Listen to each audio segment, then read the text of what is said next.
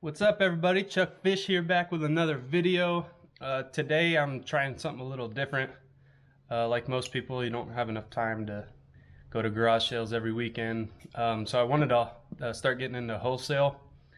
And I found this website called Wholesale Ninjas and I thought I'd give it a try. So I got my box here. Spent about $160 and then they charged uh, 30 for shipping. So just round it to about $200 uh, and I'll uh, go through it and kind of let you know what's in there. Hopefully we can make some money.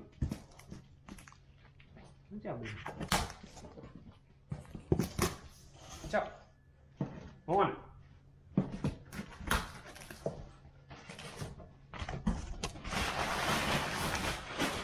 All right.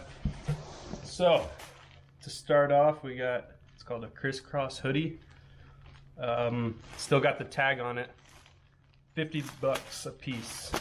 And we got one, two, three, four, five, six. Oh, and they're from Athleta, which is a pretty good brand. So I'll try to get, you know, maybe even 30 a piece for that.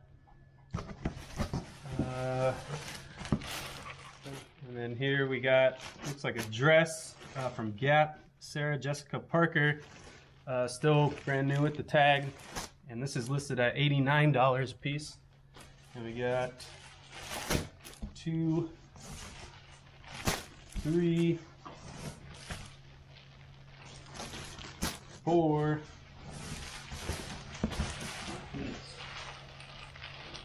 five, six, six of those. So even if I can get 50 for those, that's my money back there. Uh, and then here we got some Old Navy leggings with some floral pattern there.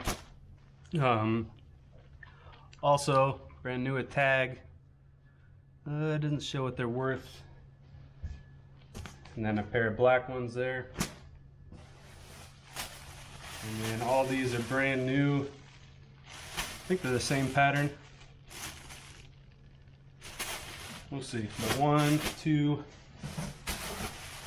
three, four, five, six, seven, eight, nine,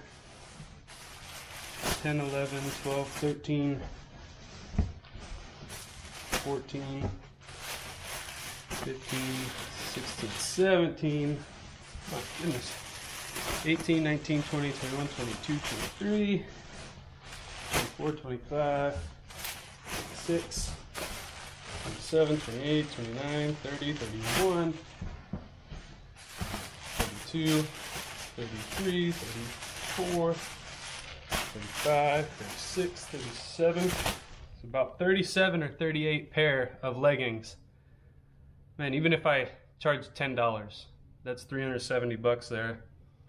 And I've almost doubled my money just off the leggings. Uh, so yeah, stay tuned. Uh, this is definitely my first time doing this, so hopefully it works out so I can continue doing this. Um, yeah, if you have any questions, just let me know and uh, hit the like button. Thank you.